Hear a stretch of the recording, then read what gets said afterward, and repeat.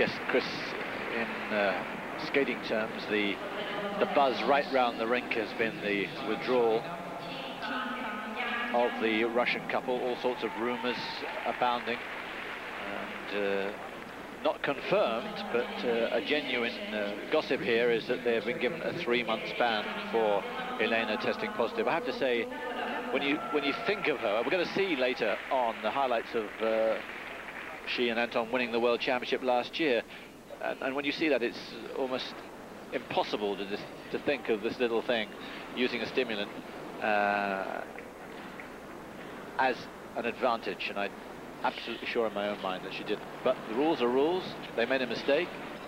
She's tested positive, and it has to be done. I think it's uh, pretty much sent shock waves across the sport. And I think most people think like you that, you know, it's incredibly sad and unbelievable to think that uh, anything could have been underhand there. I'm sure it was uh, an innocent mistake, and uh, they've learned a tough lesson. Yes, and the coach. Absolutely, Tamara. It's amazing, isn't it, when you think of the experience that Tamara's got to yes. make that sort of mistake. We had to come up here. Obviously, there was a press conference going on as we were preparing the last few minutes for this broadcast, but she was uh, uh, apparently saying that she might have been remiss, and I think she felt a little bit of guilt because obviously she's the experienced campaigner in that camp, yeah. but but she hadn't had to deal with anything like that in the past. A, a cough mixture is what we understand to be uh, the guilty factor in it. Yeah, I'm sure it's uh, very difficult. You've, all the athletes have to check thoroughly exactly what they're taking for, for any illnesses. And that's why it's so important to go to the, uh, the team doctor if you can. A bit of disappointment and uh, disappointing for the, the fans that have come here in the hope of seeing uh, Berezhnaya skate. Yeah, and Sikharulidze. Oh, and Sikharulidze. Not to be too sexist about no. this. but they are the class act. I mean, they're going to have immense competition here, and they may not have won. They very possibly may not have won, yeah. but uh, they were the favourites coming in. They were breathtaking, weren't they, in Vienna? They certainly were, and, uh, you know, win or lose, it's just great to see them out there on the ice. It Always adds so much to a competition.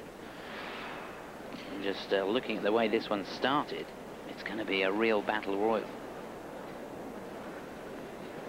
No British couple here. That's been part of the course in the last few years. Yeah, I think the uh, British couple uh, competed at European Championships. It was a, a learning uh, experience for them, and uh, they'll have gained great experience from competing there. Uh, but they've got a lot of work to do, and they know that. Uh, they'll be working their socks off back home for next season. None of the couples in this particular group will threaten for a medal, although the Chinese pair are improving rapidly. It'll be very interesting to see how they go. Belenkova and Dlabola from the Czech Republic haven't been in the top 10 yet in World Championships, although they've done pretty well in Europeans, 7th in 99 and 9th this year in Vienna.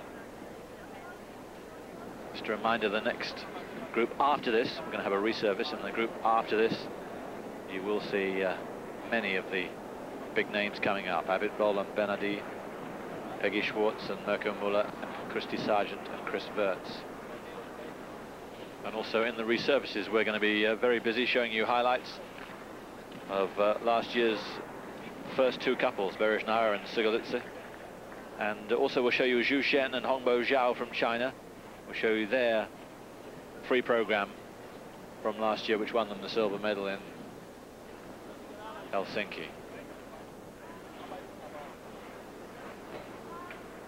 And in the second resurface, we'll show you highlights from the qualification, the uh, two winning performances from uh, Stojko and Yagudin, winners in their respective groups.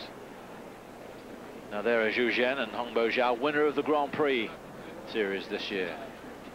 Sorry, uh, it's Qing Pang and uh, Jian Tong who are runners-up to Shen and uh, Zhao. But very promising. They certainly are. With the Chinese at the moment, you just uh, don't know what to expect. And look at the height on that throw triple salchow, which he couldn't control the landing, but uh, that gives you an idea of uh, what you've got, what's in store here. Phenomenal talent.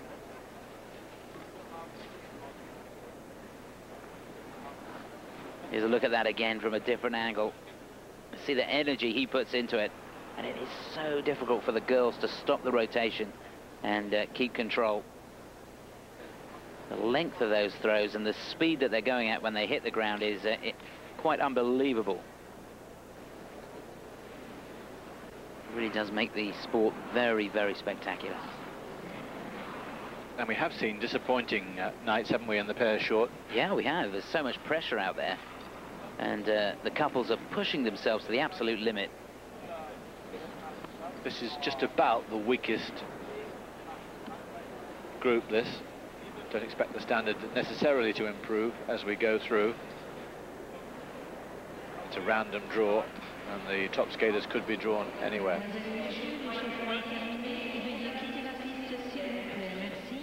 Ladies and gentlemen, the warm-up is over. Would you please clear the ice? Thank you. So uh, that's the end of the warm-up for this group. And remember, competitors from Estonia, China, and the Czech Republic.